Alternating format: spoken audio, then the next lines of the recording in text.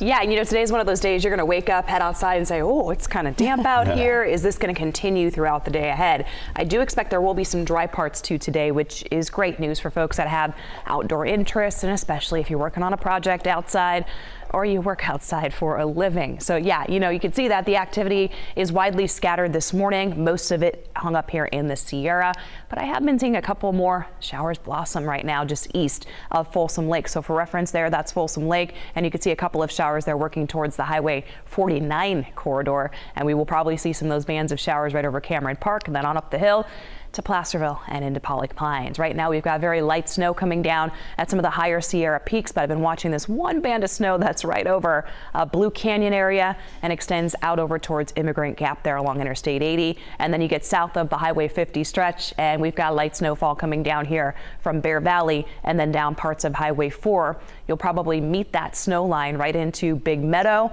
just to the east there of Cottage Springs. And then of course Bear Valley. Snowcats, they're out. They're up early with us as well well, getting the mountain ready for the day there at Bear Valley and still waiting to hear on the snow report there of how much snow has been collected in the past 24 hours. I do expect that we'll probably have those chain controls up for a good portion of probably the next couple of hours. We get beyond 11 a.m. things will really start to greatly improve there in the Sierra as the snow showers will really start to wind down. But then we get into more active weather from Friday into Saturday and even parts of Sunday as well. Let's go through this future cast. This is 6 o'clock for your Thursday. Weather system is approaching. We will expect to have again just unsettled conditions today, but a lot of dry parts to today as well.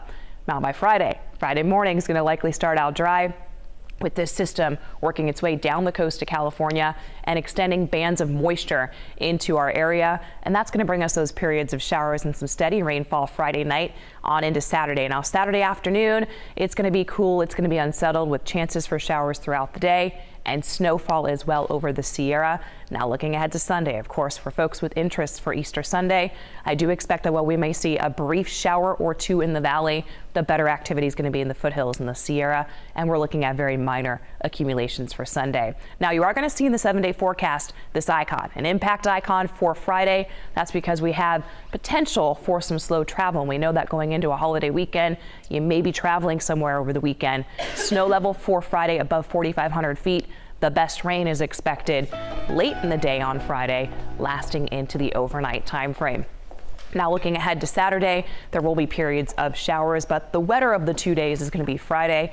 Then looking ahead to Sunday, partly to mostly cloudy skies, low 60s, and a chance for a, a few brief stray showers possible. Then down the road next week, we dry out, we warm up, and look at that, we go to the 70s. So couple nice. periods of active weather in the next few days, and then we have that kind of reward towards the end of it. Certainly worth the wait. All right.